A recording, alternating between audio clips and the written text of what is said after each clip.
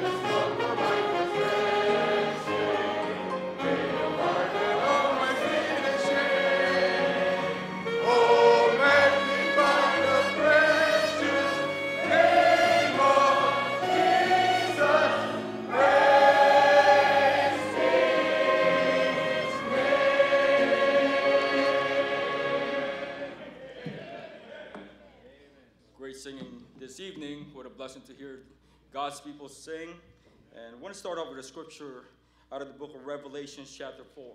Brother Denson dealt with this a little bit and touched my heart today. The Bible says this in verse number 11 Thou art worthy, O Lord, to receive glory and honor and power. For thou hast created all things, and for thy pleasure they are and were created. That's the purpose why we were made. The purpose is to please the Lord, and that's why we're here this evening, and it's all about Him. We have an audience of one. I'd like to ask Pastor Boyer Saga to come and lead us to a word of prayer. Pastor Boy Saga got saved in the Philippines some of you might know Brother Burden uh, Carter. He was a professor at Heartland Baptist Bible College. I sat in his class when he taught the book of Revelations. And the ministry that he inherited was from Brother Carter.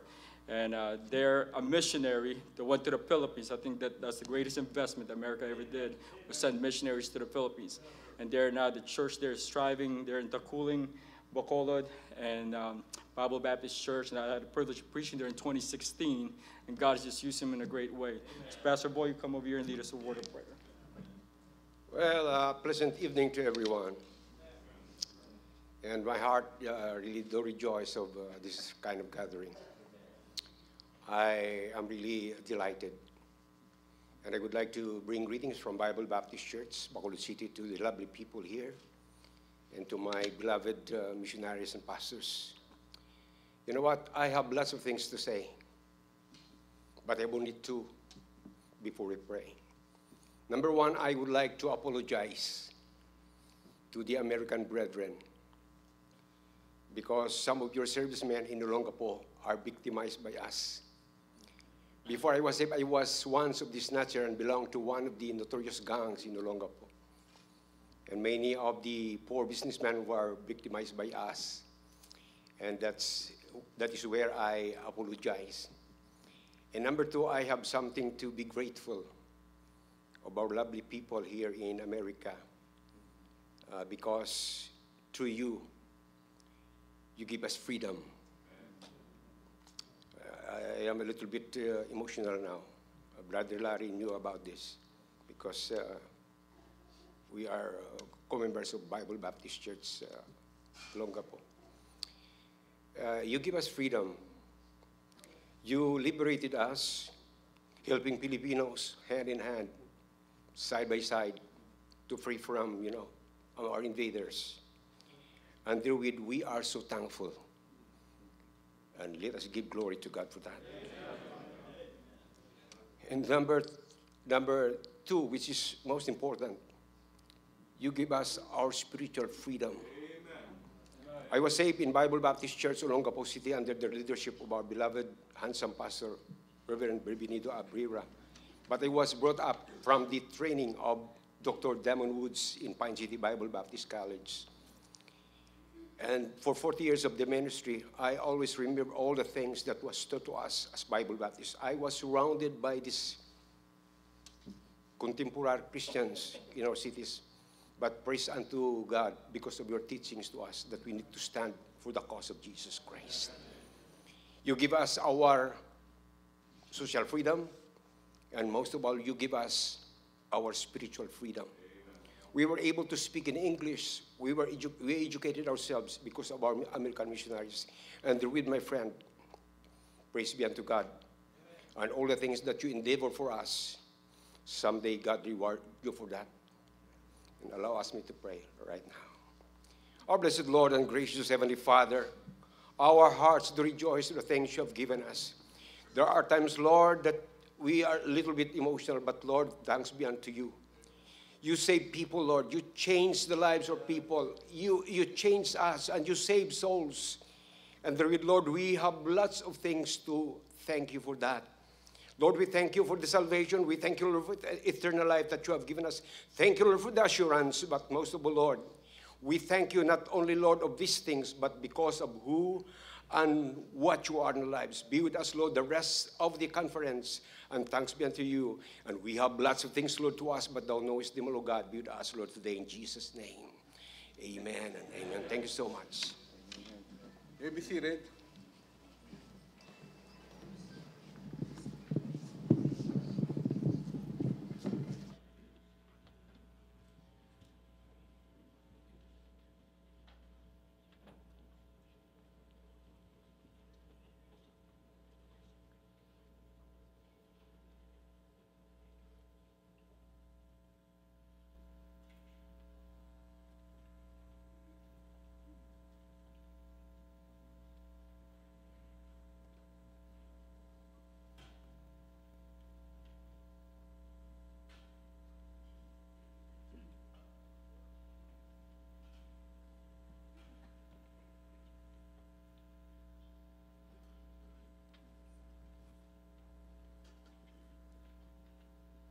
Balut, balut for sale. Come buy balut. Balut for sale. Isda, isda, pritong isda, pili kayo. Would you like to try fried fish? Ito ang aking sari-sari. May mga kaldero at walis, pots and brooms for sale. My dear Lorraine, welcome to the Philippines. Yes, the Lord God has been good to us, allowing you to pastor in Texas, Kansas, and Amen. Louisiana, now calling us to be missionaries in the Philippines. Amen. Amen. Well, let's see what we got over here. Ah, you're Americans. I will sell to you my pots and brooms. It's, it's buy one, take one free. so buy my pot, and I'll give you the cover for free. That's very good. That's very good. What would you say if I was willing to offer you something for free? Don't have to pay for it, can't earn it, can't purchase it. What would you say to that? That sounds like a great gift. Yes. It is. And, and it's called salvation. Salvation is eternity in heaven, but only for those people who have put their trust, faith, and belief in Jesus Christ. You see, when you put your trust in Jesus Christ, that entitles you to go to heaven for eternity, and you don't have to spend eternity in hell. Let me show you here real quick. For God so loved the world that he gave his only begotten Son, that whosoever believeth in him shall not perish, but have everlasting life. Thus begins the work of Pastor Edwin Fred Null and his wife, Mrs. Bertha Lorene Null, called by God to take over a small mission work in Mandaluyong, Rizal. Bible Baptist Church of Mandaluyong started with 12 members, but within a year moved into a new building and had 200 people in Sunday school on the first service. A Bible seminary was also started to train young men and women desiring to serve the Lord full time. For almost three decades, Pastor and Mrs. Null served faithfully, starting at least 25 independent Baptist churches. However, in 1977, Pastor Null suffered a massive stroke, causing him to be permanently paralyzed on his right side. Meanwhile, across the sea, the Lord God was continuing to do his work in the heart of a young sailor.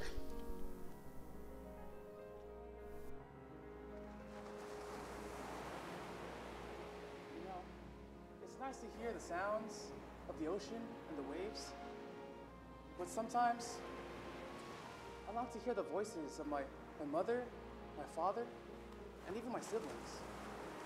Yes, it can get lonely here sometimes. But um, can I share something with you? Yeah. Did you know that there's someone who is always with you no matter where you are? In fact, this book tells us that neither death nor life, nor things present, nor things to come, nor any other creature will be able to separate us from the love of God, which is in Christ Jesus, our Lord. In September 1977, Larry Obero accepted Jesus Christ as his personal Lord and Savior.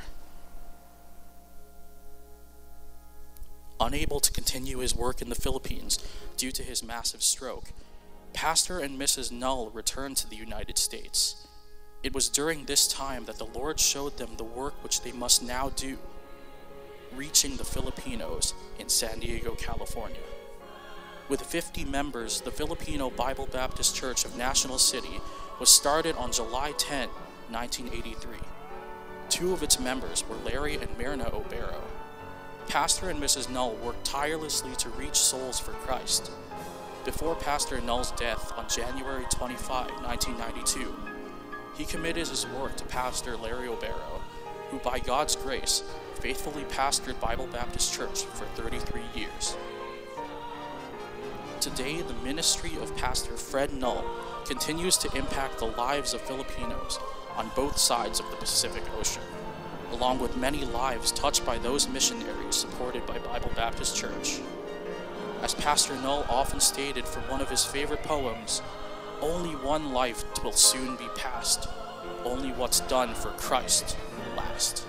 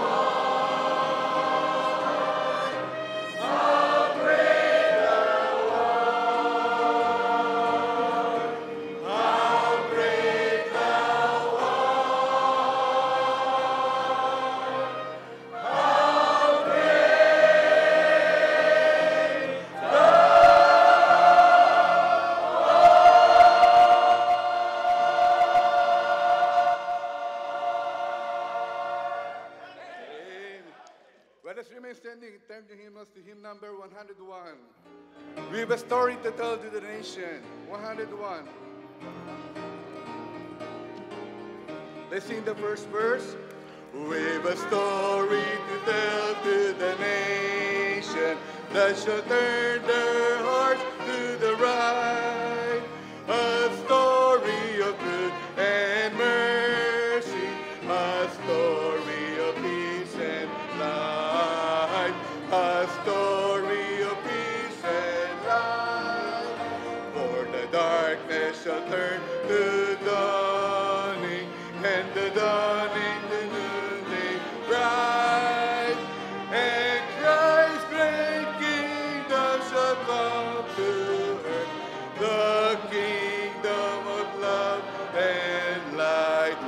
the second. With a song to be sung to the nation that shall lift their hearts to the Lord. A song that shall conquer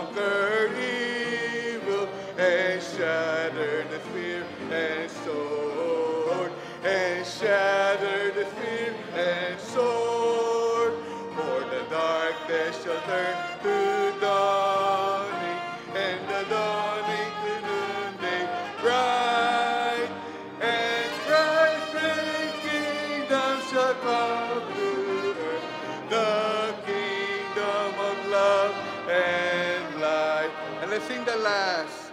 We've a Savior to show to the nation who the path of sorrow had trod, that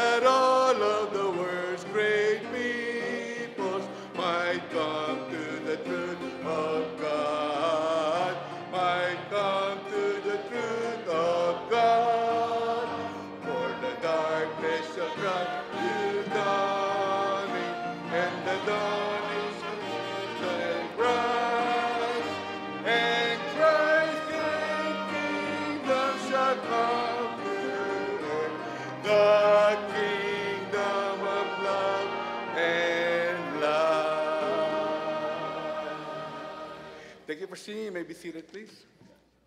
What a blessing to sing to the Lord. The Bible says, Make a joyful noise unto the Lord, all ye land.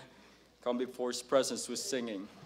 And definitely, if you're saved, you ought to be singing unto the Lord. What a blessing it is to hear the choir, but a big, great job in that.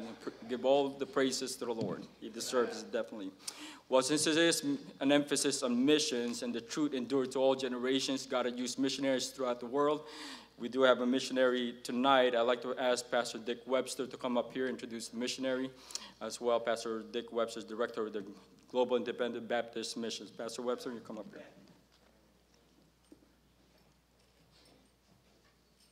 Well, if your heart hadn't been blessed already, you're just in trouble. That's all I got to tell you. What a joy it is to uh, represent missionaries. And I'm going to have uh, uh, sending pastor, missionary, come on up here while I'm saying what I got to say. I uh, want to uh, thank uh, Brother Hardy. Uh, some time ago, uh, Dave calls me and asks me for a steak all the time, and and uh, he always asks me when he's somebody at place else, but he knows I did buy him one, but I'm going to buy him more. I I love brother and sister Hardy, but some time ago he put a bug in my ear, and I didn't pay much attention to him because he's always bugging me, but. Uh, he told me that I ought to be praying for military missions. And uh, so I, the second time he asked me, I won't say I did the first time, the second time he asked me to, I actually started doing it. Can I tell you, if you pray about something, you will get a burden for it? And so uh, he introduced us to, last time we had our first military missions for the Global Independent Baptist Mission and uh, Brother Gary Kraft. And tonight we have our second. And it would be okay with me if we had one every time. Folks, this is the most wonderful untapped missions in the world. And then you see what they do when they get excited about Jesus. If you can't see that, it's just a wonderful thing. So we brother have brother Clint Minnick and his lovely wife are here tonight, and uh, we have uh, uh, met with them, and we love them, and we're thanking God for them. They are starting a church in 29 Palms, California, right outside of one of the training bases uh, in California, and they primarily have military people. Uh, and uh, we saw his burden last night in the directors' meeting. He got us all crying. he loves the military guys and girls. And uh, I, I want him to introduce to his pastor. This is Brother Aaron Shipman. Uh, he pastors the Bible Baptist Church in Odessa. He got the burden together with them, and uh, they went out there and they're starting this church. And uh, I've come to this conclusion if we're going to start military churches, we got to do it on purpose. And that means we got to do what is necessary to get the job done. God's opened some wonderful doors for this couple already. They have the opportunity to already put the, uh, uh, the paperwork in to buy a Seventh day Adventist building in that town. Now, you know we're in California, five acres and a building for $150,000. You think God's not in that, you don't know anything about California. So I'm going to have his pastor come and introduce him. Uh, this is Brother Aaron Shipman. He, uh, I'll just go ahead and say he's also one of my preacher boys. So, but I'm not responsible for his bad behavior. Okay. 15 years ago, I was standing in a meeting and I was listening to Brother Dave Hardy talk to a few others. And I heard him say this. Uh, he said, What we're doing for military missions is not enough. And I put that in my memory bank, and then uh, we partnered with um, um, Brother Minnick, and we started the church there in 29 Palms. And I was driving out to 29 Palms. Now, let me tell you, 29 Palms is not San Diego. It's just not. Um, you don't see the beautiful landscape, the water, none of that. Uh, in fact, you go out and you see uh, it's basically military training. And, uh, but what it did do for me when I got to his church and I watched how that brother and Mrs. Minnick interacted with uh, the people, uh, I figured out really quickly that brother and Mrs. Minnick, this is what God called them to do. And uh, I would ask you to do two things as I look at our um, situation. Number one, a building for $150,000 in California is uh, unheard of, and God gave that to us. And I would ask you, we're, we're going to have to come up with $30,000 uh, to get the down payment on that. And then it's going to need some TLC. Uh, could be upwards of about $50,000 to take care of that. Uh, I'd ask you to consider preachers to uh, get on board with us and help us out with this. Not every day a, building drops in your lap, and I'm, I know Brother Minnick's excited. Uh, he's excited about that. Uh, but secondly, I would say this: get on board. He needs to be. He needs to have full time support. And uh, that's what we're here for. I promise you, Brother Minnick is one of the hardest working uh, kids I know. I I'm telling you, he has been there. He loses three families a month and he still averages 65. I, am going to tell you, it's just amazing. So uh, here they are, brother and Mrs. Minnick. So uh, my name is uh, Clint Minnick, and this is why my wife Maureen. We have uh, four little ones and one on the way. We have Preston, Ashlyn, Lacey, and Brinley, and the little one on the way. If any of you give me twenty thousand dollars, I'll name our new next child after you for that.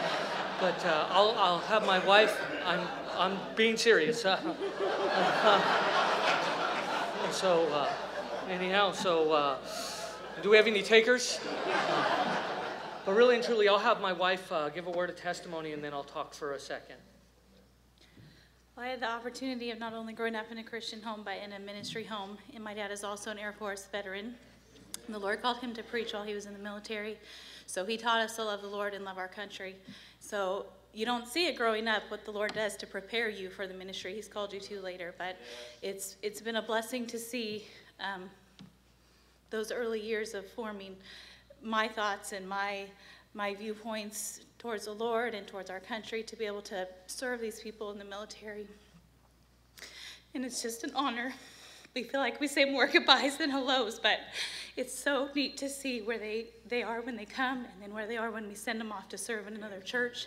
And it's it's it's just a great blessing. And so we're thankful for those of you who have partnered with us. We couldn't do it without you, and we're so thankful for you. Thank you. So, um, like a preacher said, 29 Palms is in the middle of the Mojave Desert. Um, I was texting a young man that's a student at Heartland Baptist Bible College. He was in the Navy. His name is Chesley. Um, he's uh, from Pastor Chadwick's church. I was texting him, just letting him know I was thinking about him. And he said, Hey, Brother Minnick, how's Afghanistan? Um, because in 29 Palms, that's what they do. They prepare those Marines for desert warfare training.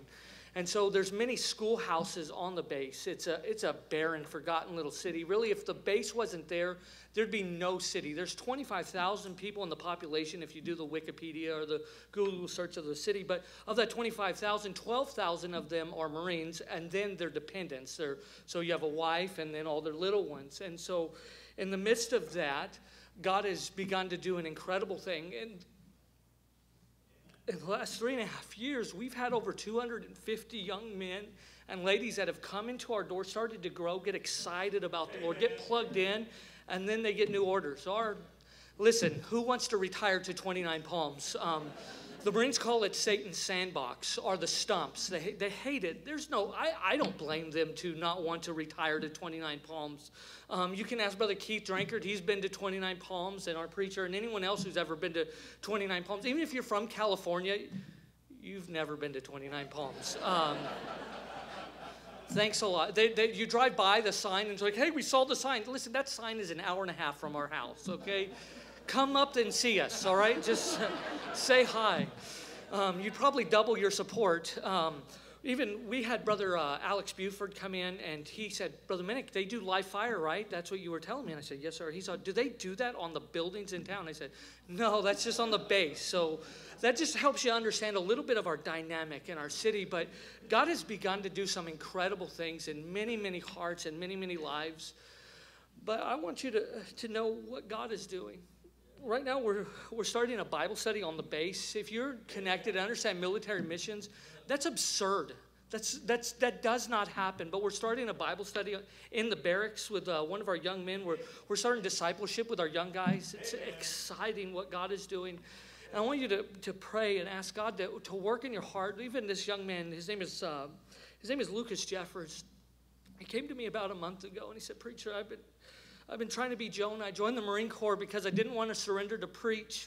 But God's getting a hold of my life. I can't run from it. I don't want to, I don't want to end up in the belly of the well. And this young man, Lucas, surrendered his life to full time ministry and he's serving and ministering. But because of his stand, um, Lucas is a Daniel in a wicked, wicked place. They, just because these young men have a sharp haircut and they can say yes, sir, and no, sir, and yes, ma'am, and no, ma'am, does not mean anything. They are morally wicked aboard that base.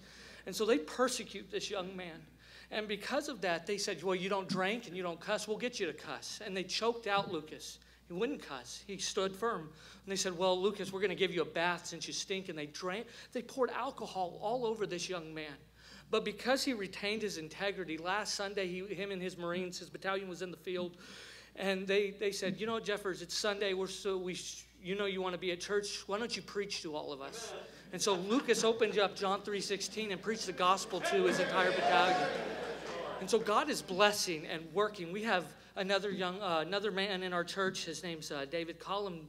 David, um, David's a warrant officer three. Uh, if you know the Marine Corps, warrant officers are rare, but Brother David has a call to preach in his life. He's already gone through Bible college, through um, uh, Liberty University, but we're practically training him in the ministry and teaching him some of those things about uh, what it is to serve and minister that way. And Lord willing, in three years, we'll send Brother David off.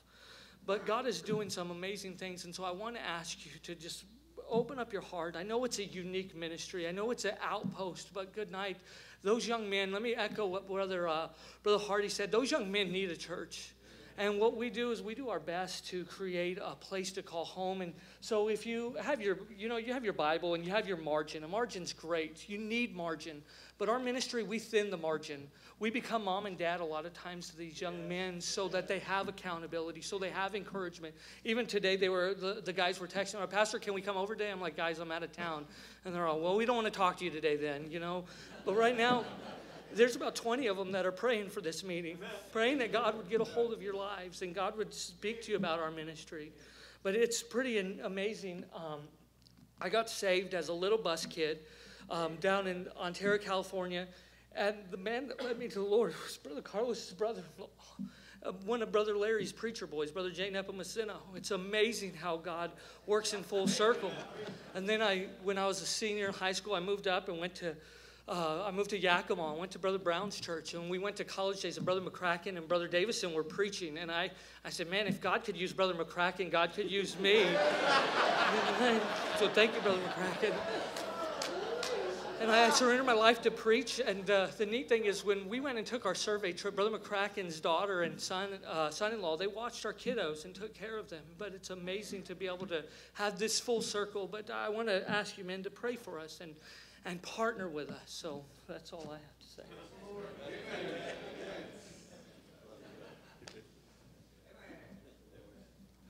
Come on, guys, let's help this guy. Can you sense his heart? He had all of our directors right in the palm of his hand last night. I see his heart. I hope you do.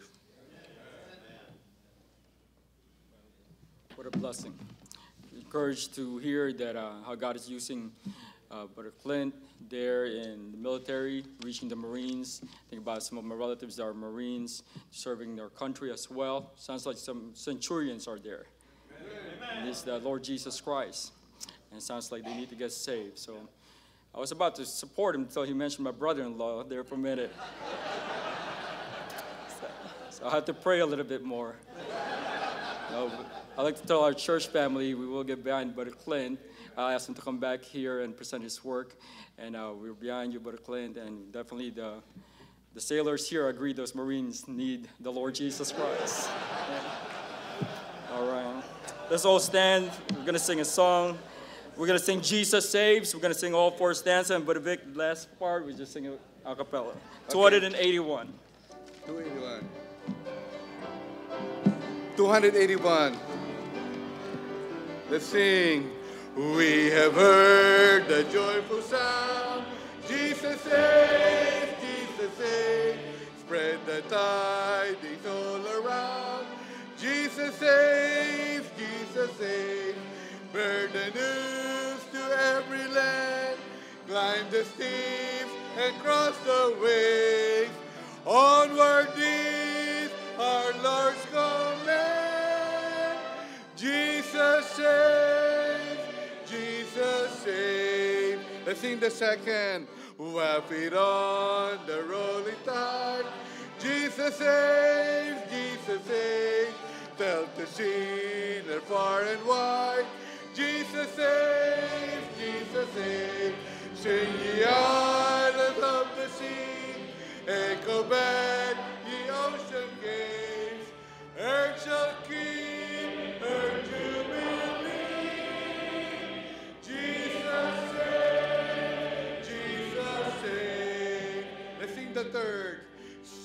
above the battle strife. Jesus saves, Jesus saves. By his death and endless life. Jesus saves, Jesus saves. Sing it softly through the gloom. When the heart for mercy craves.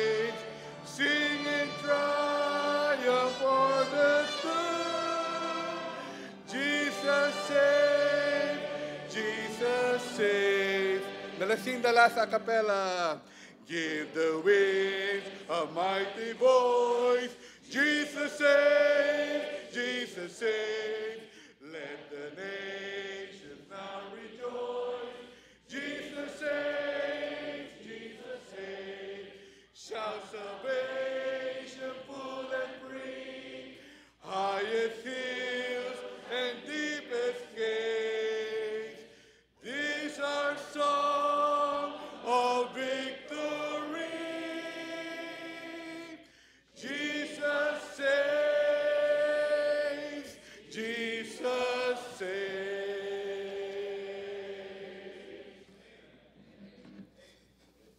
Singing this evening. Pastor Monette, pastors up there in Canada, I'd like him to come over here and say a word of prayer about the offering as well. Thank you, Pastor.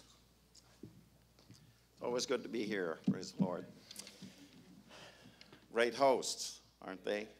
Man, we've heard singing in Tagalog, Spanish, English. I'll greet you in French. Bonsoir tout le monde. But I'm not going to sing. Well, uh, we've been well fed. They took care of all the meals. So far for us, we know how much it costs to go to restaurants. And God tells us to let our love be without dissimulation. And we're to prove the sincerity of our love. This is a great occasion for us to do that if uh, we want to express our gratitude for a great host church. Let's pray. Father God, thank you so much for uh, the occasion to be here and for those that were able to make it. What a blessing to be among the brethren and to encourage each other in the battle. And Lord God, we trust that you will make provision uh, for the needs of this church as you've provided also for each one their spiritual needs. And Lord God, certainly many more wished they would have been here to hear the preaching and see their meet their needs met also. And so, Lord, we pray that you be with everyone that um, gives their all in the ministry to serve you. You're so worthy of it. Help us now to have a heart to express the sincerity of our love and help this church to remove a little bit of the burden. In Christ's name, amen.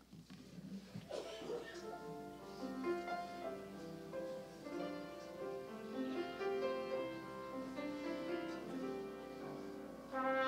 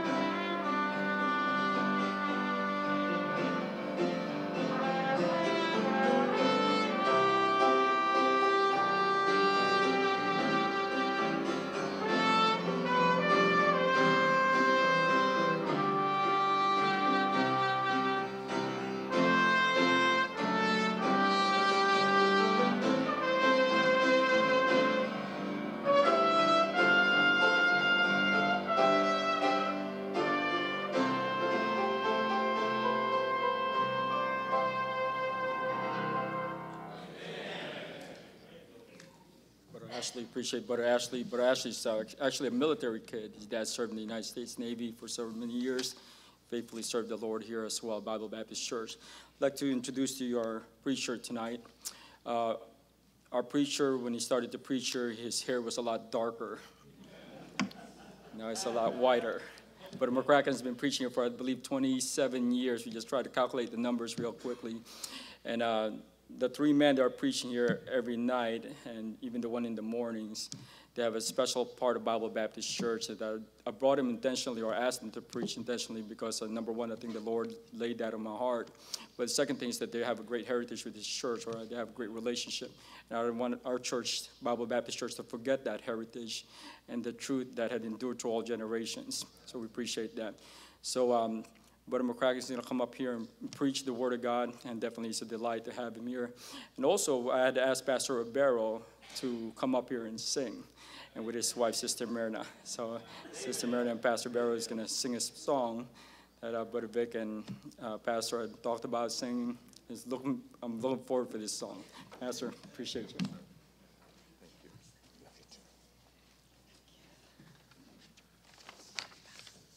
When Brother Minnick said that uh, if Brother McCracken can, can be used of God, he can be used of God too, it reminded me what Pastor Nall used to challenge us as young men. He said, if God can use a null, that means zero. He can use anyone. And I am so thankful because that challenge caused me when he asked me to pray about being trained by him to take over this work. I am thankful that I surrendered and my wife followed my faith. Later on in life, I challenged the young people in this church. I figured out that Fred Nall is a zero, but then I figured out my name is Obero. Zero at the beginning and zero at the ending. It's a double zero.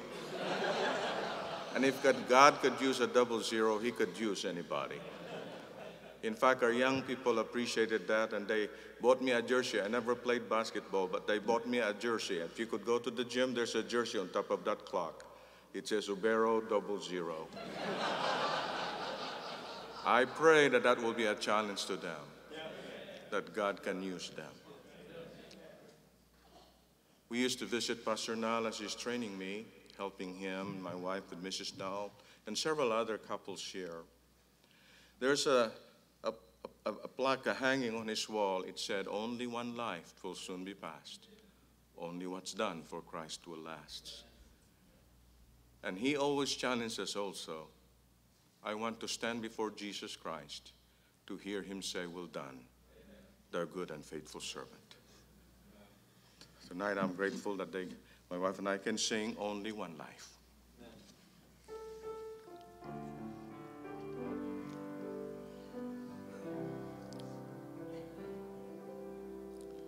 It matters so little how much you may own, the places you've been, or people you've known, for it all comes to nothing when placed at His feet. It's nothing to Jesus, just memories to keep. Only one life, so soon it will pass. Only what's done for Christ will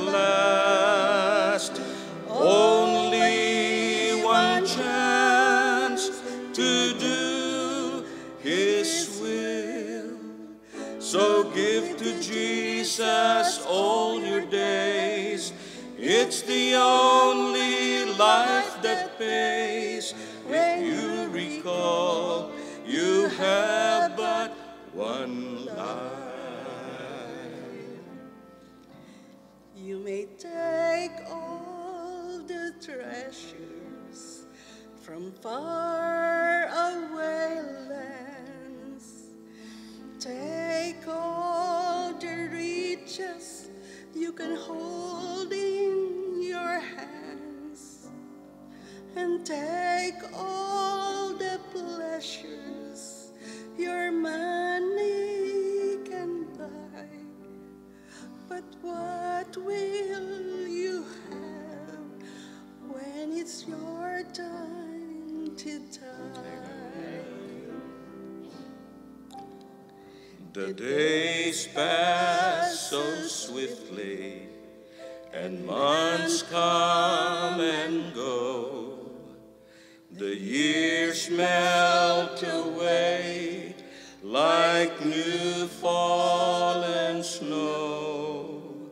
Spring turns to summer, summer to fall. Autumn brings winter, then death comes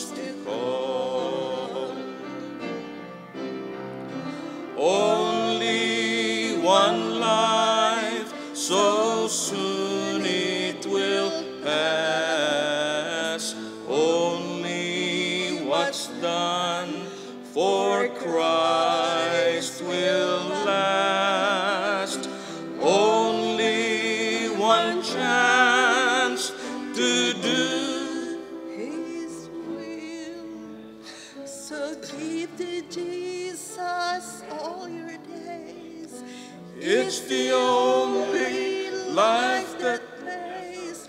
when you recall you have but one life. When you recall you have but one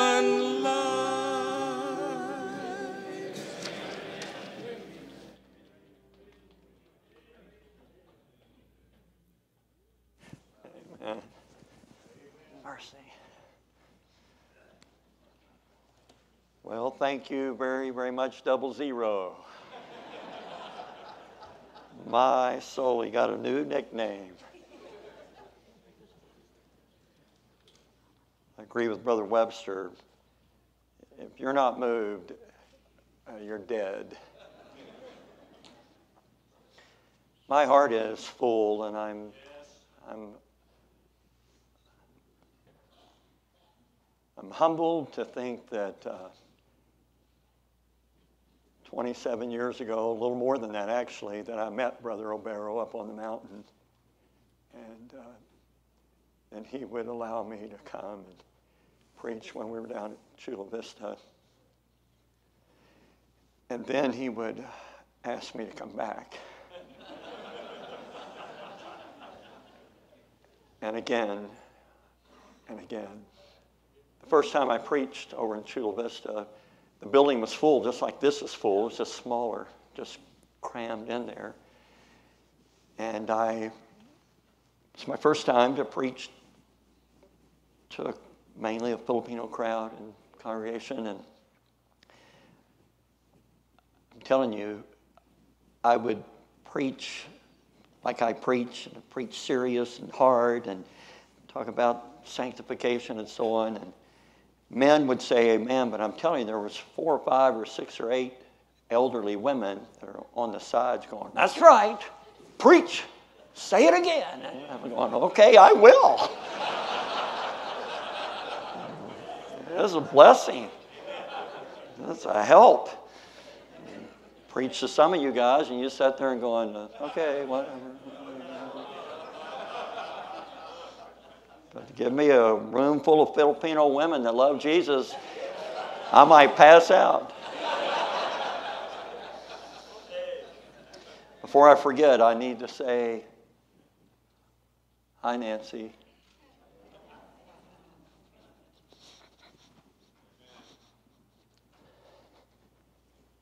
I love you. This is my first time here without you. And these people love you. They've spoken about you. They're praying for you. Amen.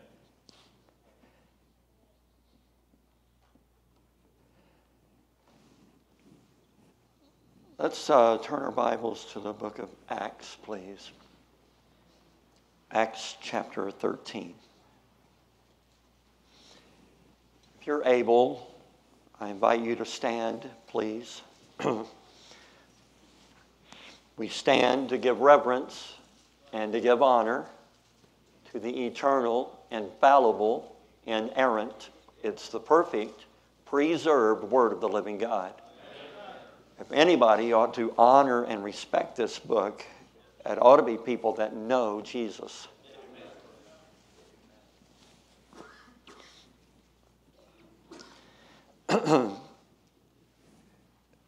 Chapter 13 of Acts and verse 1. Now, there were in the church that was at Antioch certain prophets and teachers as Barnabas and Simeon, that was called Niger, and Lucius of Cyrene, and Manaen, which had been brought up with Herod the Tetrarch, and Saul. As they ministered to the Lord and fasted, the Holy Ghost said, Separate me, Barnabas and Saul, for the work whereunto I have called them. When they had fasted and prayed and laid their hands on them, they sent them away. I'd like to pray with you, please, and I'd appreciate if you'd pray for God to have his way. Our great God, I come to you again and just want to give you all the glory and praise and honor. You alone are worthy. Lord, I'm grateful to be here at this meeting and how you've touched me and blessed me yesterday and this morning and tonight, what we've already experienced. Thank you. Thank you that it's real. It's not some philosophical ideology, but it's real. And I give you praise for that. Lord, I'm asking uh, for help tonight. You're well aware I uh, am nothing and I need you. So I ask you for unction and power and ability to get across your truth tonight. Illumine my heart and mind and tongue, and then illumine all of our hearts to hear it. And that we're not resisting, that we're open and ready. And God, we'd be sensitive to you as you speak to us. And if there are things that you're working in our hearts about, that we won't fight that. We will say yes to whatever you speak to us about. And of course, Christ, if there are anyone here tonight that's not yet saved, would you, in your great love and compassion, would you touch them and bring conviction on their soul and their need? Tonight would be the night that they would say yes to you and receive your forgiveness. God, if you're calling servants to your work, I pray they'd hear you. They wouldn't push it away. They'd say yes to your call tonight. Lord, I ask you to strengthen your people tonight. I pray that it would accomplish your will. God, truly, we do want you to get all the glory. So, God, we look forward to what you might accomplish. So, thank you in advance for what you've already done, but thank you in advance for what you're about to do. So, we give you a praise and glory. And it's in the mighty and holy name of your only begotten Son, Jesus Christ, that we pray. Amen.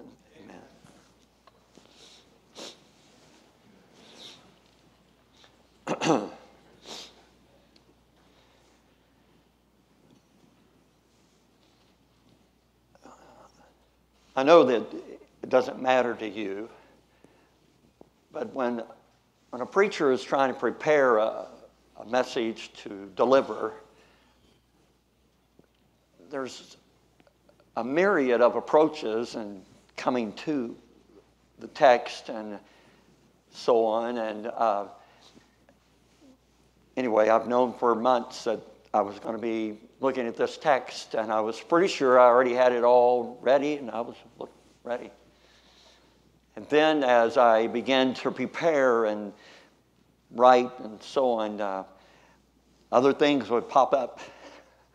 And uh, anyway, by God's grace, uh, I'm one of the text here. Uh, there are several things that pop up uh, right away in the text. Uh, and I, I want us to be sure that we have awareness of, of these things that pop up. And there's a whole lot in the, these three verses. It's a whole lot. But uh, just one of the things I'm going to make emphasis on it says, the church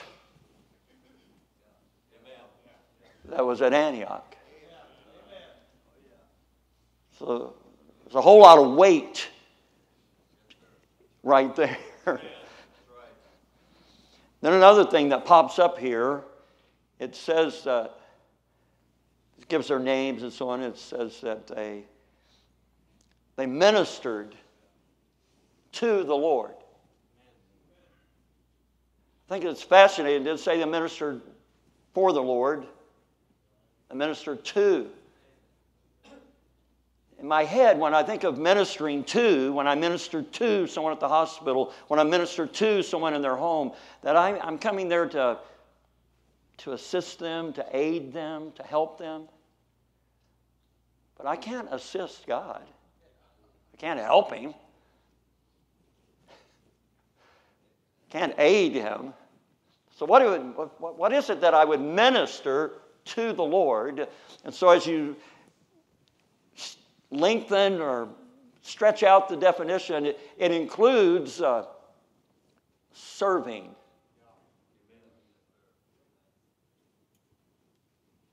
I am serving the Lord.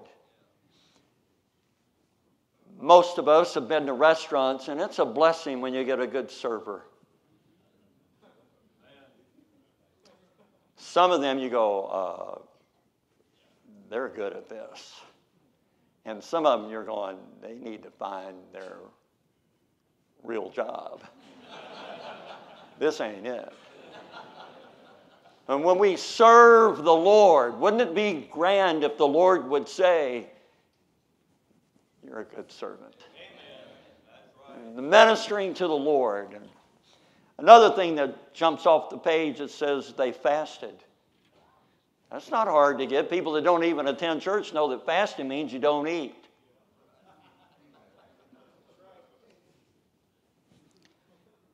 It says the Holy Ghost. That could be an entire week of study. Tonight, I'm only going to say that the, the Holy Ghost is the third person of the triune God. He's co equal, He's co eternal with God the Father and God the Son. He's God. Another thing that comes off the page is separate. Me, Barnabas and Saul. It's not too hard to capture, separate. Separate, another way we would say it is set apart. Evidently, they're, they're in the group and they go, Now, now, now, here's what I want to do. I, I've called Barnabas and Saul. I want to separate them, set them apart. And then it says, For the work.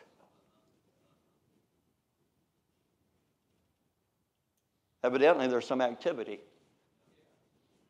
Evidently, there's going to be some effort that the Holy Ghost wants done. So there's lots of, uh, each one of these could be a subject for preaching. Tonight, I, my, my goal anyway, my intent is I, I want to talk about two of them. I want to talk about the church and the work. God allowed me a few weeks ago to get to be with two of my favorite people and favorite preachers. I got to be with Brother Sam Davison and Brother Dave Hardy. Us three were together for four days, and it was a blessing. But I've been burdened for years at our churches. The ones I go to, the only kind I go to is independent, fundamental, God fearing, devil hating, Bible believing Baptist churches. That's where I go.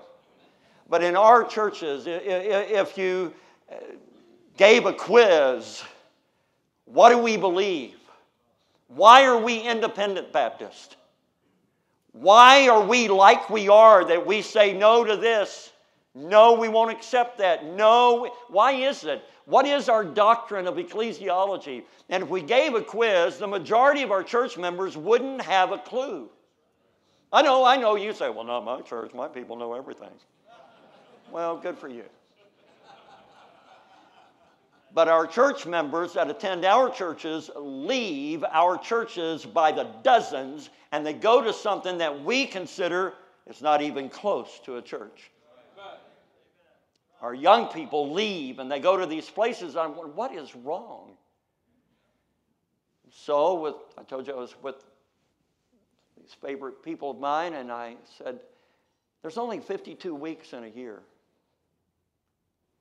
How often should we preach about the church that our people can get it? Because the Bible is like big. There's a lot of other stuff in there.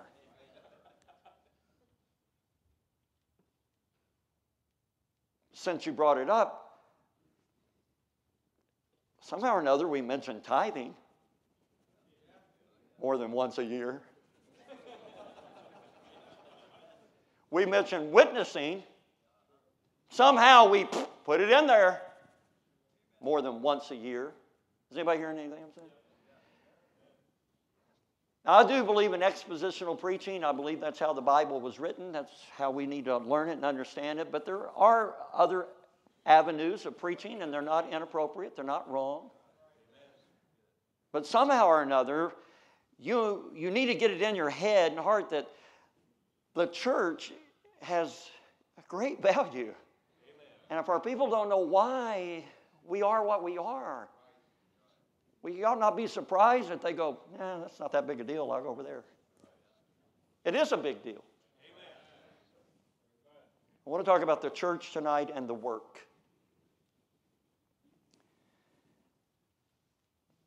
I guess I was going to start like this.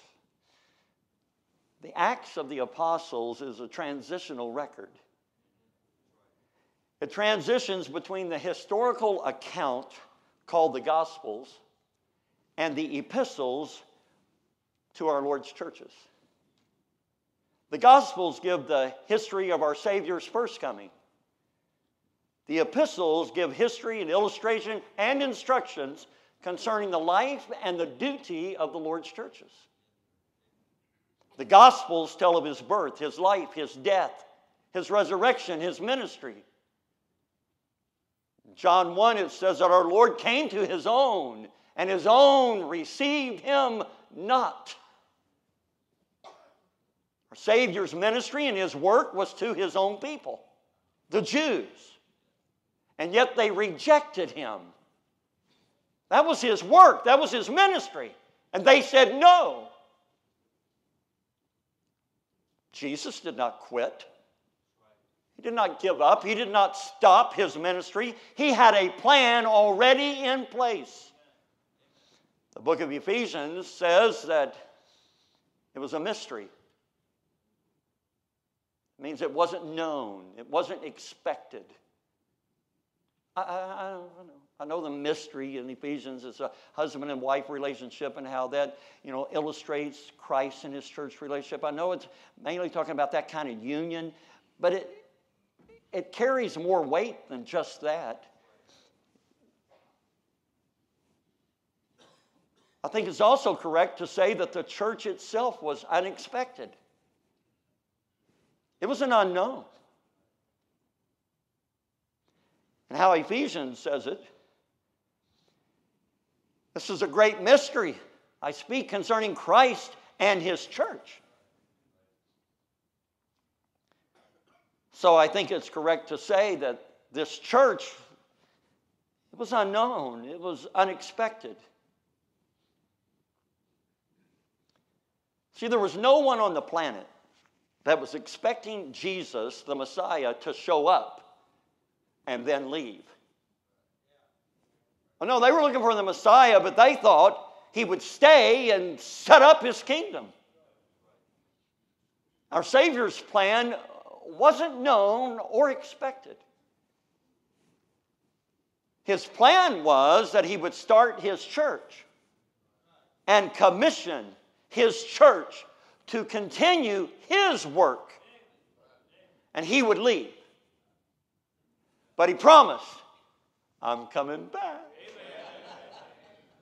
Amen. So the first part I want to look at is the Lord's work. What was his work? What is this work they were called to do? Well, they're called uh, to do his work. So, what was his work? The Lord said uh, in the Hebrews, it says, Lo, I come to do thy will, O God. The Lord Jesus, his work was, and I'm going to do whatever you ask me to do. I'm going to do what's on the agenda. I'm going to do. No, no. He did say, if it be thy will, let this come. Nevertheless, not my will. That's what he came to do. The angel told Joseph, Thou shalt call his name Jesus, for he shall save his people from their sins. That's what he came to do. That was his work. Timothy says this is a faithful saying worthy of all acceptation that Christ Jesus came into the world to save sinners. That was his work. Jesus himself said, I came not to call the righteous, but sinners to repentance. The Son of Man has come to seek and to save that which was lost. Herein is love, not that we loved God, but that He loved us and gave His Son to be the propitiation for our sin. For, for our sins. Jesus came to be the propitiation. That was part of His work, this propitiation. He's going to make satisfactory, satisfactory reparations for our sins. To extinguish the guilt by compensation or by atonement so you and I could be forgiven. What did he do? He pays for our sin. That's what the Bible says in Corinthians. It said Christ died for our sins.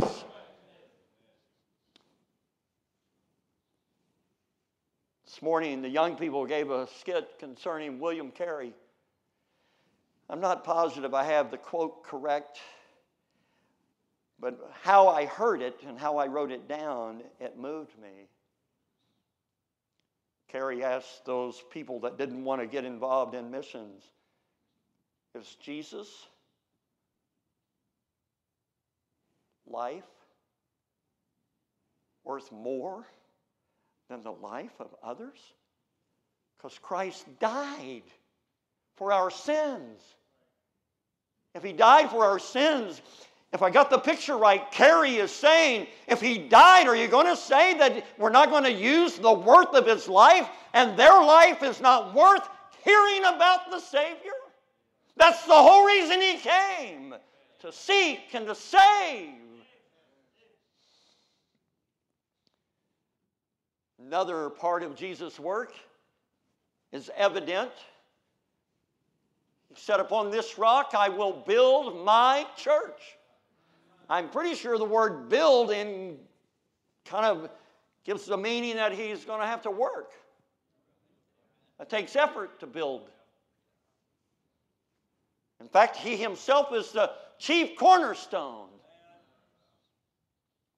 So, what is the Savior's work? I know there's much more than this, but I am trying to press it down or whittle it down to just get some thought here that Christ's work, he came to do his Father's will. He came to pay sinners' sin debt and to save them from their sins. He came to call sinners to repentance. He came to build his church. Now the Savior's gone. That was unexpected. But his work is to go on.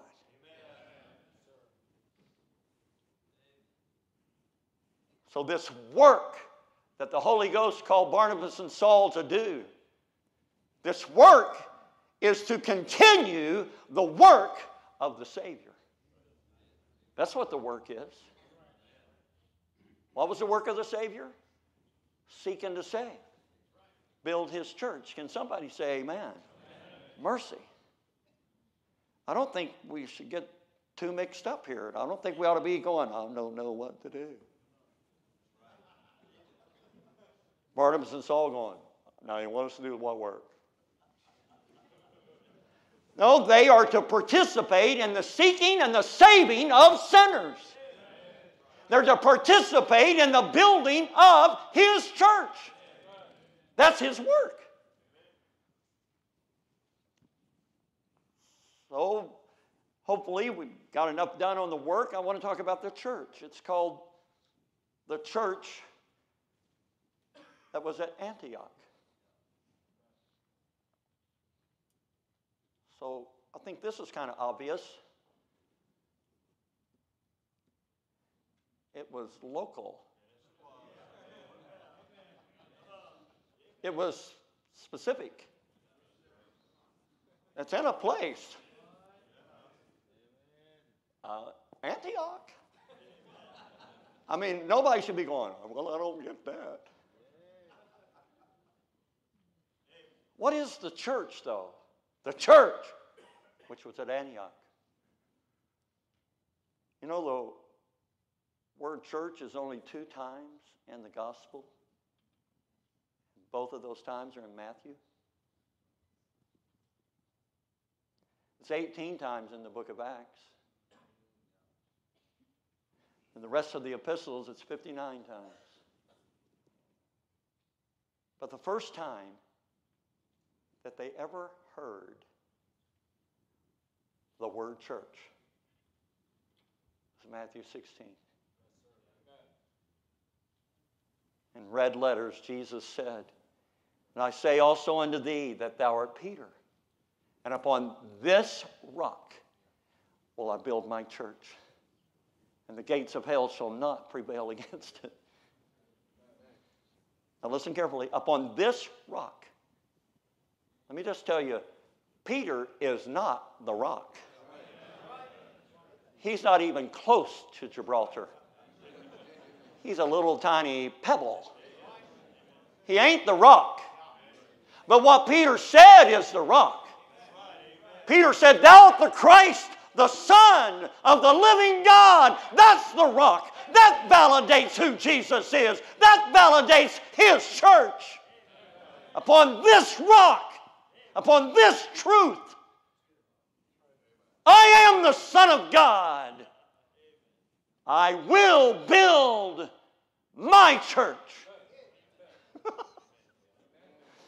oh, there's another obvious here. It's his church. Did anybody get that? He started it, he builds it, he protects it, he owns it, he purchased it. It's his church. It's not yours. It's never been yours. And it never will be. It's not yours to do with as you please. It's not yours to decide how are you going to do his work. It's his church. I'm telling you, that would solve a lot of problems. There'll be a lot of stuff that would smooth out if people would go, This isn't my church. Jesus, this is yours. This is your work. Excuse me, He didn't leave us without instructions. He didn't start it and go, Do the best you can, boys. So the church defined historically, biblically. We know the word church is ecclesia. It's called out assembly. You're right. People go, uh, how come it says church? Because when you translate ecclesia into English, it's church.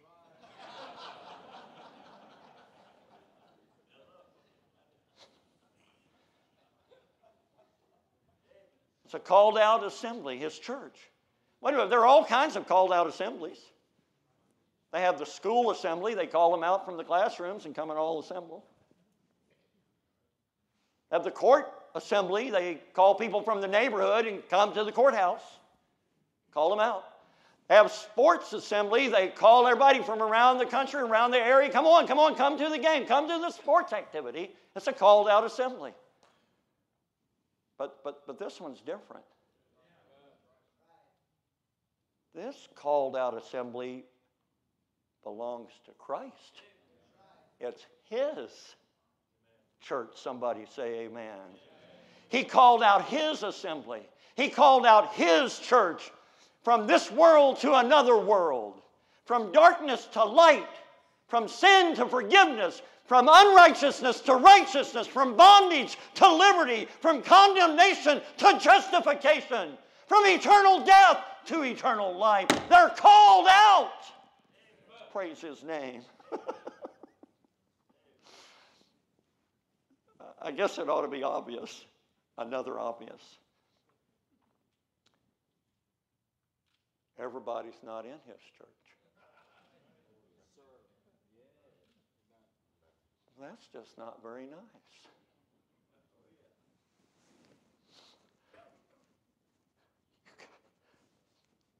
That is not nice. Everybody should be able to be in his church. Well, since you brought it up, it is open to whosoever will. Whosoever will do what? Whosoever will answer the call of the gospel of Christ. So here comes another obvious. If it's only if it's open to everybody, but they have to answer the call of the gospel of Christ, here's another obvious. Evidently, there's some qualifications, requirements. If you want to be part of His church, there are some requirements. Hmm. The requirement, number one, they must be saved, born again, regenerated, redeemed. I can. Well, that's sounds restrictive. If I, if I'm not mistaken, that sounds like a wall.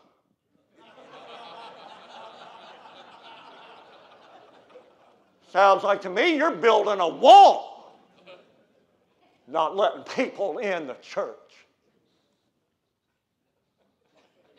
Well, since you brought it up, evidently it is. There are some people try to sneak in. And it doesn't do them any good. There's only one door, one door to salvation, and that's Jesus Christ. Not what people think or what they desire or how they feel about it. There is requirements to be part of his church. The next requirement is baptism. I did pronounce it correctly. Baptism. I don't, I don't get it. I don't understand the confusion about baptism. The word itself means to dip, to plunge, to immerse, to place into. The only baptism known or seen in the scriptures is burial in deep water. This is not baptism. This is not baptism. That's baptism. They went, they both went down into the water. So we're getting it, I think. There's got to be a proper candidate. They must be born again. Since you brought it up, just because this happened to you doesn't mean you're in the church. Amen. You got to be born again. If you weren't born again and they did take you to the baptistry and they did do this to you, you didn't get baptized because you got to get born did again did first did. You just got wet. You need to be baptized. Now, now, now, these are not mine and your rules to decide how we want to do it.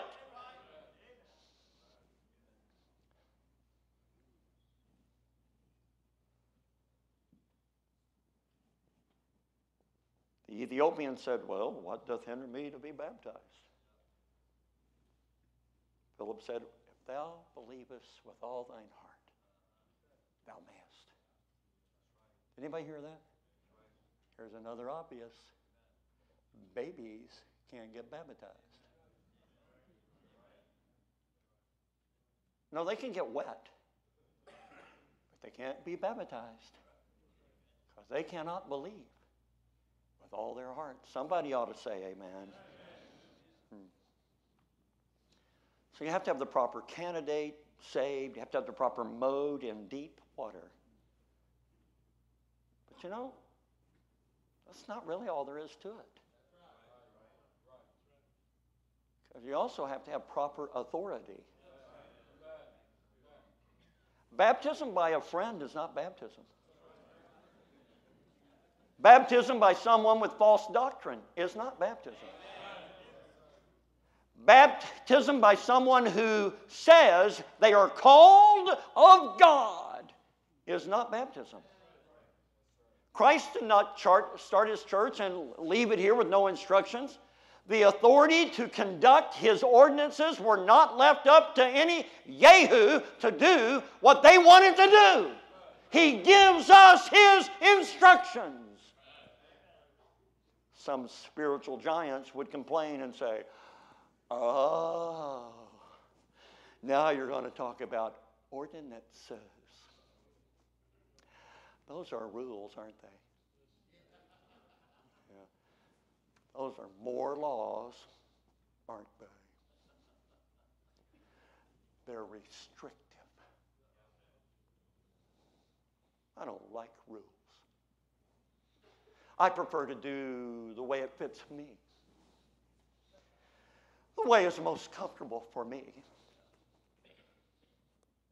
You know, God loves me. And He doesn't fence me in with some of your stupid rules. Well, I'll just tell you that if they were my rules, they may very well be stupid. But these are not mine. These belong to the Savior, and it's His church. The ordinance is a law or regulation made by a city or a town or a government. But the definition continues and says this ordinance is an authoritative decree. And I'd say Jesus Christ has the authority to make a decree. And his decrees are two the Lord's table and baptism. Since we're talking about it, what's been said about baptism, you can say about the Lord's table. You don't get to do it how you want to. You don't get to decide who's going to take it and who doesn't. Since we started off like this, I'll just go ahead and say it now. It's a local church. Well, I just don't see it like that. So,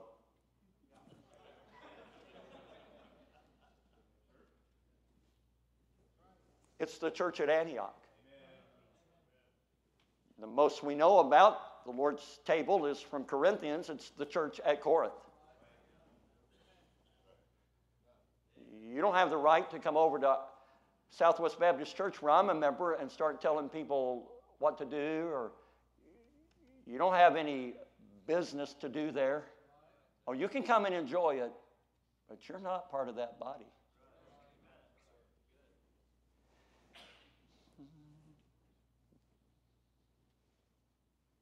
Baptism was commanded to be, it's part of the Great Commission of Matthew 28. Baptism is not a suggestion, it's an ordinance given by the Lord Himself. You don't pray about getting baptized. Uh, I just. I've been in the ministry a long time now. I've been coming here 27 years. I've been in the ministry now for 46 years. And I've had several people, uh, I'm going to pray about getting baptized. Did you get saved or not? It's an ordinance. You don't decide if it's for you. You don't baptize yourself. You don't decide who's going to baptize you. You submit yourself to the authority of His church. The Lord did not leave it up to us. The authority to baptize was given to His church in Matthew 28. Oh, now, wait a minute, Brother Dave. I believe he was talking to individual Christians there. If he was talking to individuals, when they all died, the commandment would have died with them. If it was individuals, they would have to fulfill the other order of the church. What do you mean? Well, they would have to assemble by themselves. They would have to pastor themselves.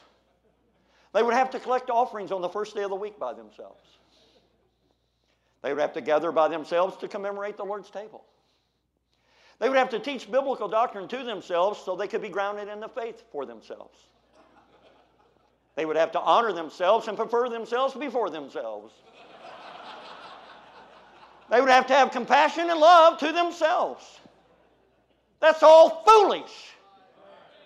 A third grader understands that's not right.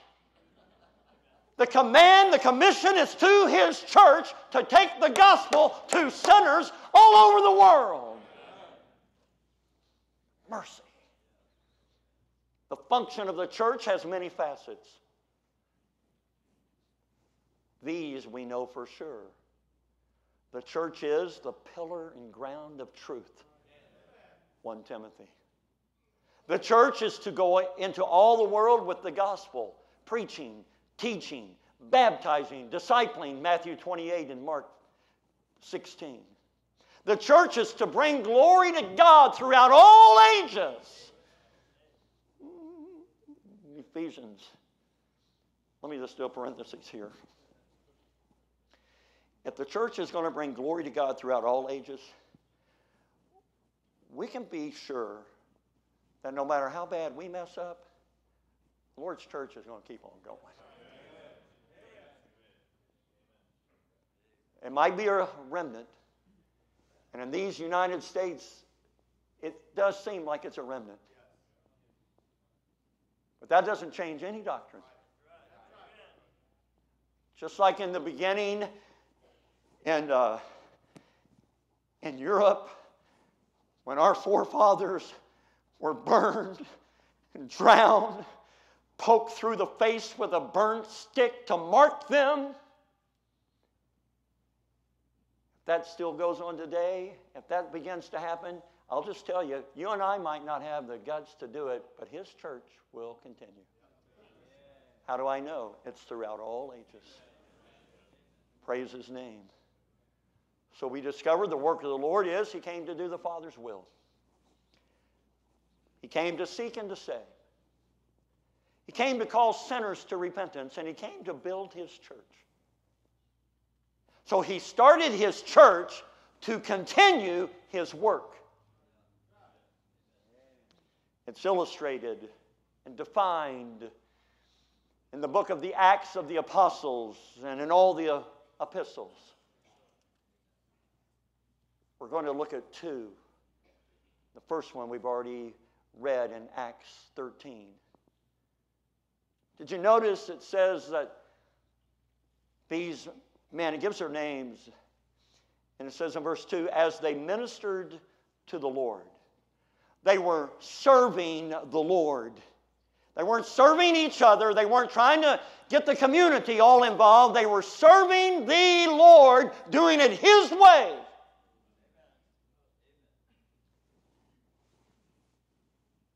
They were busy,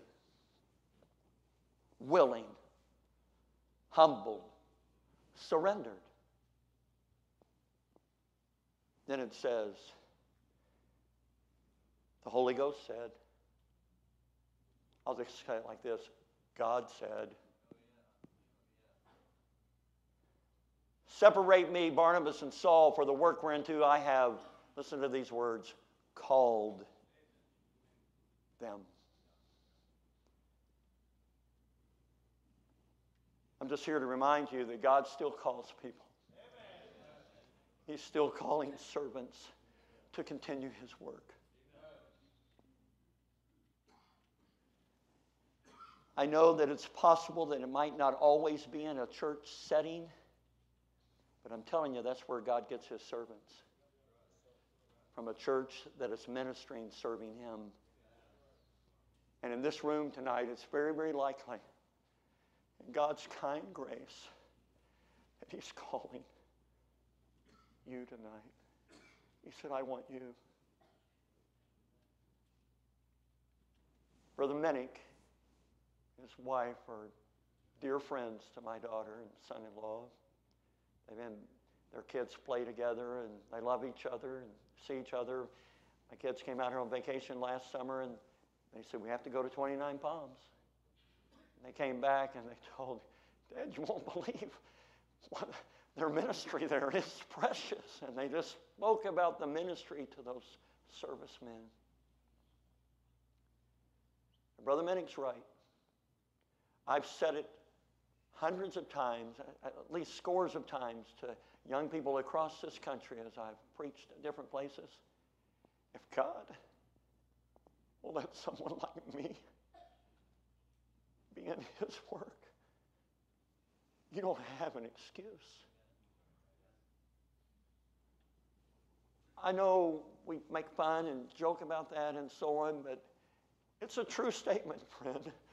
I don't deserve to say his name out loud, let alone stand in front of people that love him and serve him and preach his word.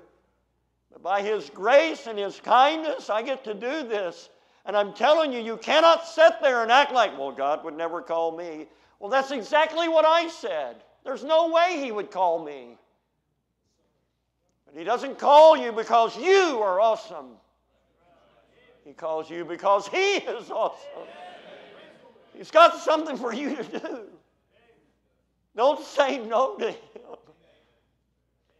A young preacher a few years ago, I appreciate what he had to say. We don't need more Christian doctors and more Christian lawyers and more Christian plumbers. We need more servants in the field.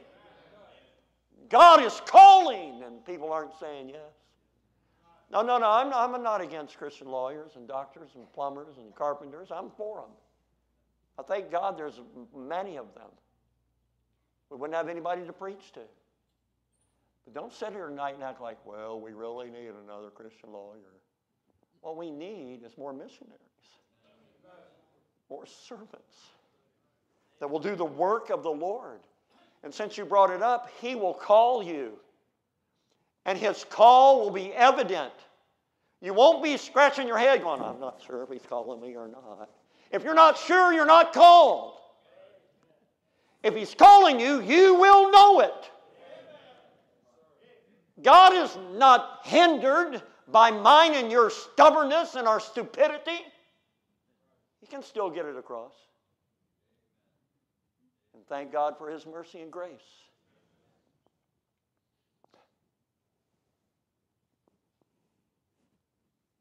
Says they, in verse number three, they had fasted and prayed. Who, who is they? Who is these they people praying and fasting? Well, in verse 1, it tells you the church that was at Antioch.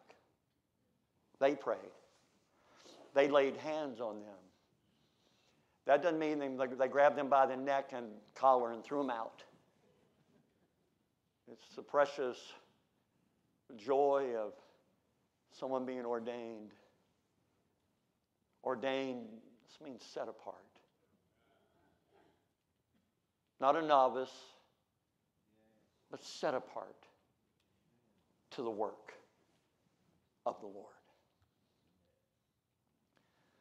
Verse 3, it says, When they had fasted and prayed, they laid their hands on them. Listen, look at this. It says, They sent them away. You know, they are the only ones with the authority to send them away. Who, who is they? Uh, it's the church at Antioch. The church has the authority with the ordinances. So the church is the one with the authority to send them away. Individual Christians don't have the authority You don't have the authority to do the Lord's Supper with your buddies out in the woods. You don't have the authority to do the Lord's table in the hospital with your friend. We were sitting at the table last night, wherever the gym is, or somewhere. And it just came up. There's a fellow in here that he's preaching in a um, snowbird park. Doesn't mean they all wear white. Snowbird park. And so he preaches them because their preacher, anyway, so they, they got they asked him, he preached. And then so the people go, uh, we want to do the Lord's Supper. We do it the last Sunday of every month. And this preacher in this room said, Well, that would not be biblical. And here's what, here's what the people said. Well, the other guy was really not a pastor. He was just like us. So he really didn't have the authority, but you do. Well, he don't. The church has the authority. Is anybody hearing me? Can't do it your way. The Kiwanis, the Shriners, the Elks, the Moose, the Rabbits, the convention, the king, the potentate, the government, the fellowship, your mama and your daddy don't have the authority. His church has the authority. The church sent them away. Oh, where'd they go? Away.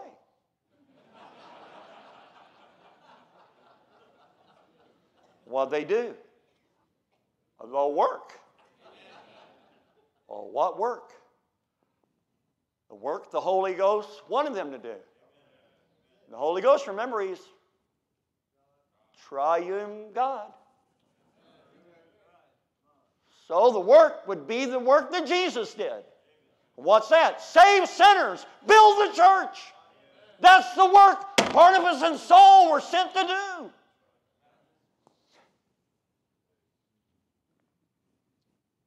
So, since we're talking about it,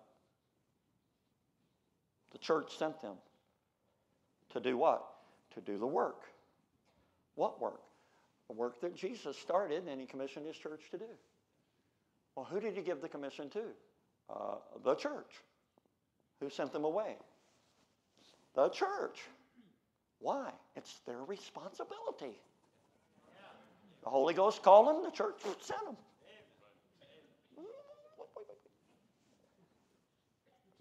Who, who, who, who do you think funded this mission trip? The people who are responsible funded it. Barnabas and Saul didn't say, hey, don't worry about it, we got lots of money. The church said, hey, Barnabas and Saul, don't worry about this. We're going to take care of you and we're going to send you away. Ladies and gentlemen, it's the church's responsibility to fund, to finance missions. Stop being tight fisted. Open up your hand and give so missions can go around the world. Tonight we heard the heartbeat of the Minnick family.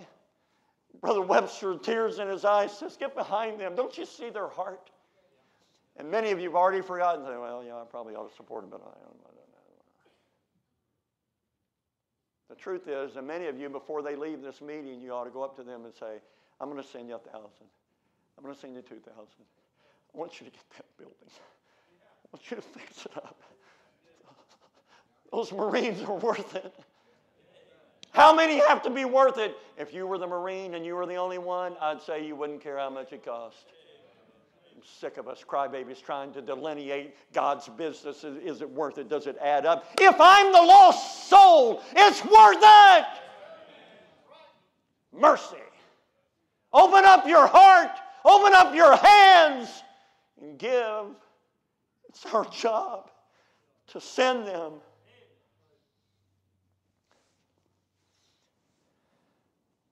Okay, one other passage. It shouldn't take more than an hour. 1 Corinthians, please. 1 Corinthians chapter 3.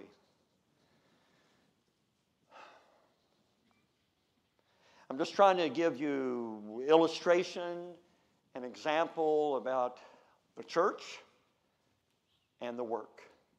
And I know, I know, I know, I've, I've sat where you sat, where you go, I think you did pretty good right there. You could quit and we could take care of the business. Well, that's the thing about building these sermons. Sometimes they just keep on growing.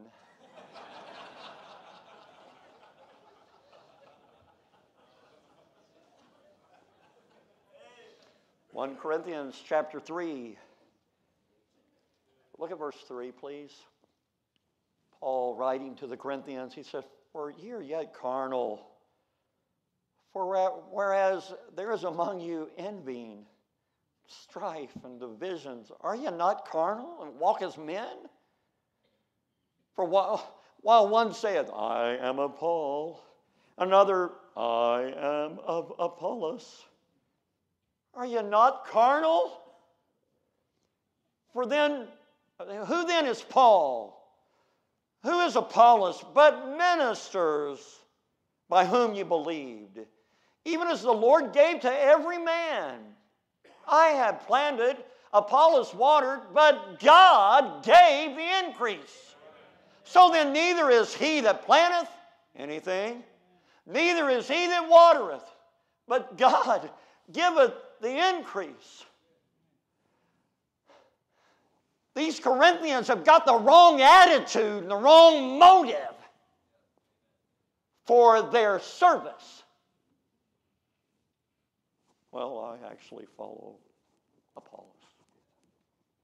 This is how we do it. Well, I'm telling you, you, kind of messed up. I'm, I follow Paul. And he's a man of God. You remember how he preaches? Mercy.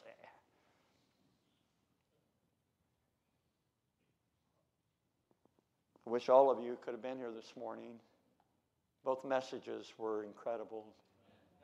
Really a blessing. Really, really a blessing and a help.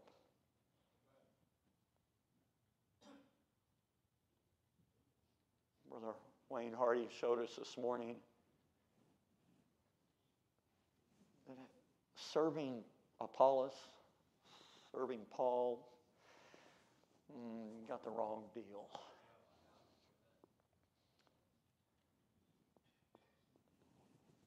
You need to serve him. Paul is teaching the individual person is not what's important. Paul, Apollos, we're, we're, we're nothing. I don't know if you heard the word or not. He said, so neither is he that planteth anything. That sounds like he's nothing. He might be able to sit next to brother O'Barrow and say, hey, I'm a zero too. now, very many of us would tag Apollos or Paul as a zero. But Paul says we're not anything.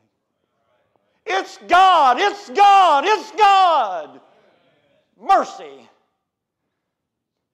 God is the one that accomplishes the work. If there's going to be work done that honors and glorifies Him, it will be by Him, through Him, in Him, with Him. It's not you. Stop bragging. Stop it. It's not you. On the other side, stop whining. It's not you. There's no reason to get the big head and think you are more important. God's not impressed. God is not great because of you. And there's no reason to feel puny and unimportant. God doesn't pity you feel sorry for you. God is not great or less great because of you. No one is more important. No one is less important. in God's work. It's amazing to me. I know I grew up in a preacher's home and I saw preachers and I looked up to them and I revered them and respected them and I go, ooh, they're a big preacher. Ooh, they're an important preacher. Then I go to Bible college and Bible college was at its zenith. We had these named preachers come and whoa, he's a, he's a great preacher. He's a big preacher. Ooh, they have a big ministry. In our humanity, we give them a claim. God doesn't. God doesn't say, uh, JT McCracken guy's got about 40 people there. And this guy's got 6,000. God doesn't say, yeah, he's more important. Not God. God says, uh, You're not anything, Bubba. Excuse me, you're not anything either, Bubba. I'm the one that's everything. Amen. I want you to notice this phrase in here. Uh, see.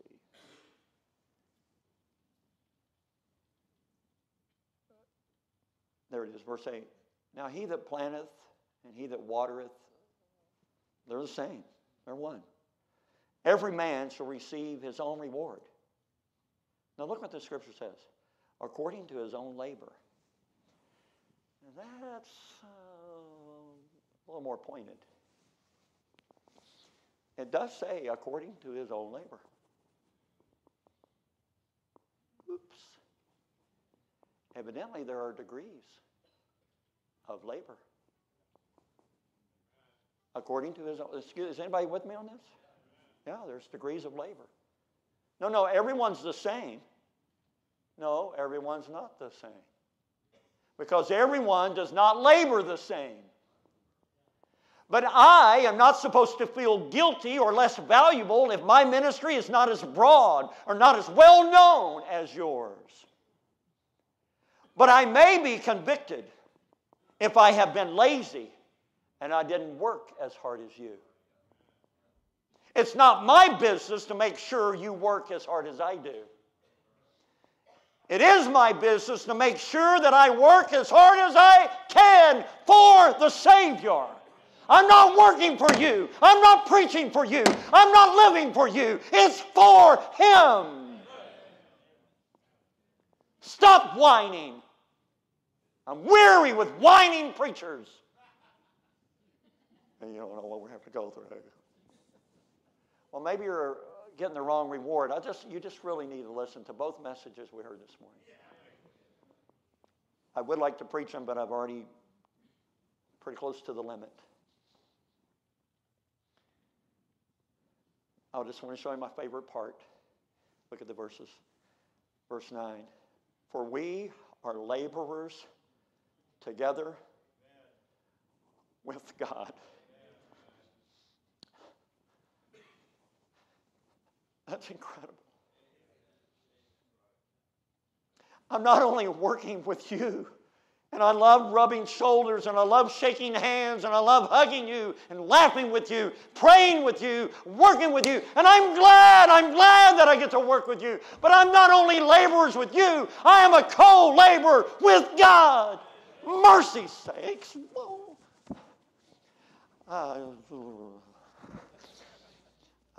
Uh, I've got five brothers. The oldest one in the family is my brother, and he's six years older than me. So when I was 10, he was 16. He quit school and went to work. When he was 17 and a half, he joined the Army. When I was in the ninth grade, I'm 15, I'm going to turn 16, we moved to Pewee Valley, Kentucky. And we were poor. We rented an old farmhouse on 80 acres. Nope, we didn't get the 80 acres. We just got like a little acre. The 80 acres was rented out, leased out to farmers. Sometimes there was cattle, sometimes there was hay. We lived in the old, old, old farmhouse. Set a glass of water in January in your bedroom. In the morning, you'd have ice.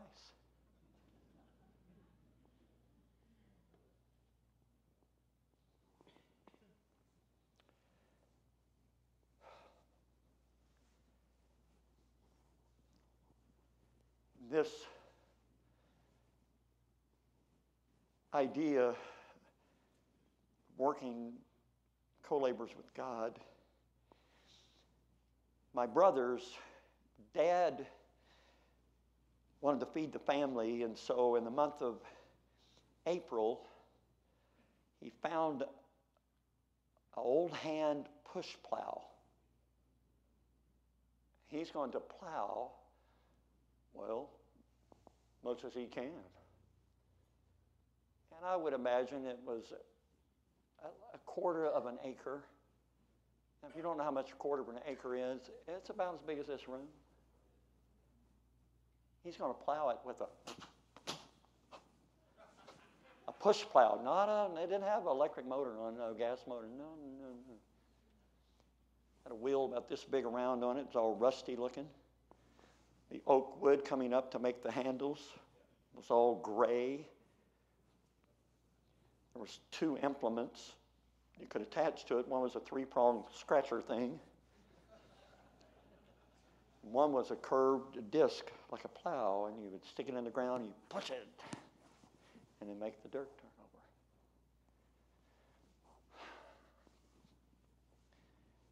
over. Anyway, he got it all plowed up with uh, our help.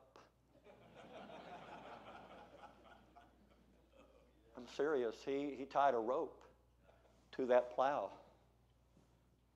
attached it. And me and my brother, who's two years younger than me, and a lot smaller than me, and back then I was just 15 years old, probably weighed 125 pounds, 20 pounds, this little skinny stick. And we're out there, we got the rope around our chest, and we're pulling that plow. my mom, glory to God, she's a godly lady. She wanted to save us. JT, JT, wait a minute, wait a minute. I thought, praise God, she's going to tell him, don't make these boys do that. She said, I brought him a towel. Let them put it on where they won't get a rope burn.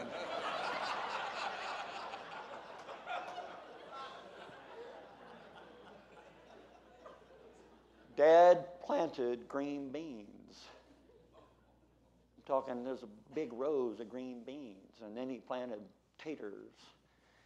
There were some tomatoes, and there were some cucumbers, there was some uh, squash, but it was, it was new potatoes and green beans.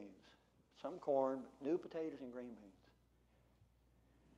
So it became my job, because I'm 16, I'm a man,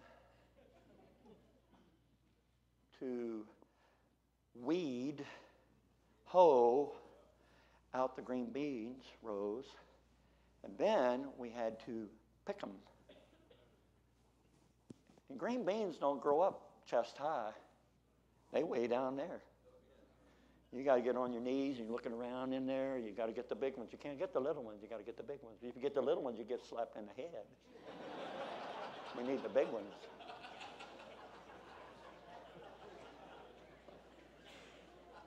So me and my two brothers, one's two years younger than me, one's three years younger than me, we are picking the green beans. It's our job to hoe the green beans and pick them. These two goobers, I'm 16, he's 14, he's 13, and they, after five minutes, they're messing around. We got to get it done. Dad's coming home. We got to hoe the green beans. We got to thin out or pick the green beans. And these goobers are messing around. But I know, and they know, when dad gets home, if it's not done, they're not the ones going to get in trouble. We all are. And I'm telling you, I never one time said, I love picking green beans with my brothers. I couldn't tell dad, Dad, this is my row, and that's what they're doing. No, no, we were, I was responsible for all of it. I hated it. My mom canned, I don't know where she got all the quart jars from, but she canned green beans and potatoes, new potatoes, in these quart jars. It seemed like a hundred, I don't know, but we had green beans and potatoes all winter long. We had it two meals a day. That's what we had. And God sustained McCracken family. But here's what I'm mad about my brothers. I don't want to work with them. They're stupid, they're lazy, they're playful, they're throwing dirt clods, they're I don't know what they're doing. We got work to do. But I will tell you with all my soul, when I found out I was a co laborer with God, I'm not afraid to go to work. I'm not ashamed to go to work. I'm not depending on me, I'm depending on Him. Mercy, what are you whining about? You're a co laborer with God. What are you bragging about? It's not because of you, it's because of God. Oh, why are you lazy? Don't you know who's working with you? Get up, get to work. Mercy. What is wrong with us? Whining and whimpering around as if we can't get the work done, and God is our partner? I love what one preacher said if God be your partner, make your plans large. Amen. To be involved in the Lord's work and the Lord's church is holy ground. We're partners with God, we're co laborers with God. We should be full of thanksgiving. He brought us to this point. His mercy and grace, His salvation, long suffering, His forgiveness, the opportunity just to serve Him in His work. We should be full of surrender. What is wrong with us? We should be full of obedience. Should be available to whatever He wants. No arguments, no discussion, no debate, just humble surrender to anything, everything. Wherever He wants us to go, whatever He wants us to give.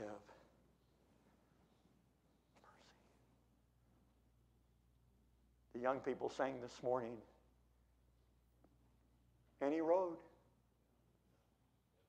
at any cost. Do you accept the responsibility to do the work of Christ His way?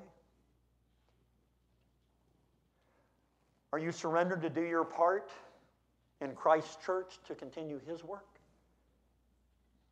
Are you committed to be involved in getting the gospel of Jesus to sinners,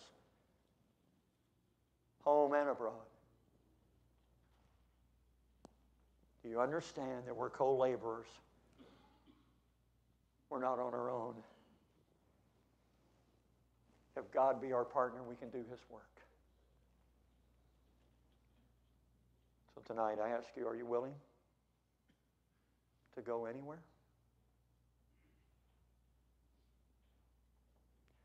Are you willing to give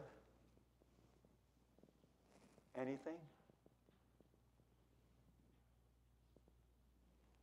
You're not yet saved, the Savior, Jesus Christ, wants to forgive you. Just to say, just to say you're a church member doesn't mean you got saved. Just because you've been baptized doesn't mean you get to go to heaven. The Holy Ghost will speak to your heart about salvation. The Holy Ghost will speak to your heart about His call that He's putting on your life. Holy Ghost will bring conviction to me and you about are we really doing His work His way? I ask you to stand with me. Thank you. Thank you for listening.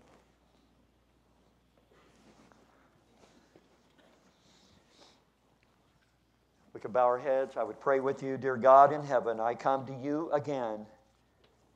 Thank you. Thank you for instruction. Thank you that we're not on our own. Thank you, God. Thank you for saving me. And thank you for touching my life to call me to the work. God, you're still calling people today. I thank you that you still do it. Thank you, you gave us good instructions about your work. It's your way. God, I pray that we'd have yielded, humbled, surrendered hearts.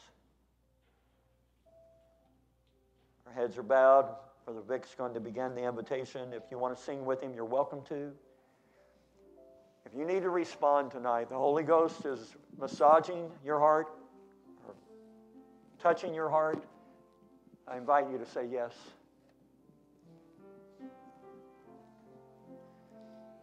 I have decided to follow Jesus.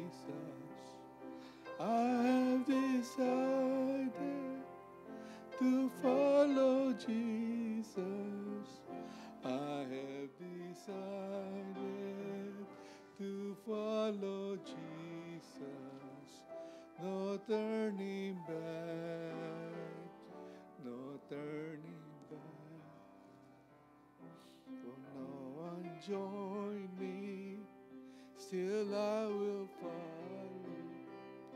Though no one join me, still I will. Though no one me, still I will back, turning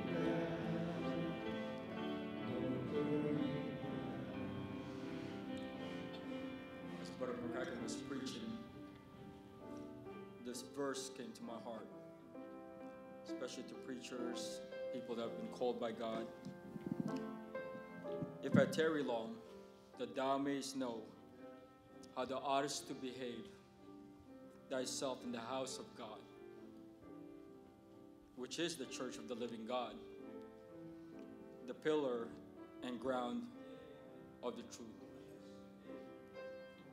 This is not our flock. It is his, his sheep. He purchased it with his blood. We don't own it, and we ought to behave. We have to act right in our, the Lord's house. Brother McCracken, thank you for the message. God bless my soul.